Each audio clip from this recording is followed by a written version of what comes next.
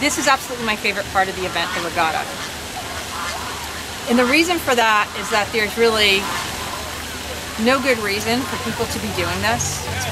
And uh, people do it anyway. And I think there's a real need for people just to have fun and to have permission to play. And I think it's very fortunate that we provide this opportunity to do that. So, gosh, this is our sixth year? Sixth year the regatta.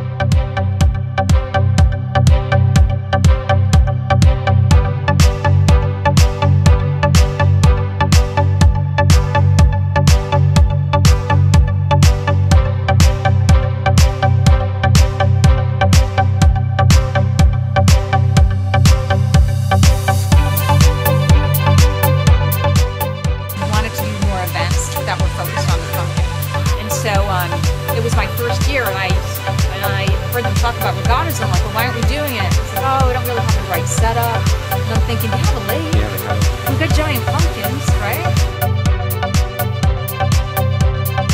I think the best part is watching some of those people who try as hard as they can to paddle across the river or the lake uh, and then end up uh, swimming back.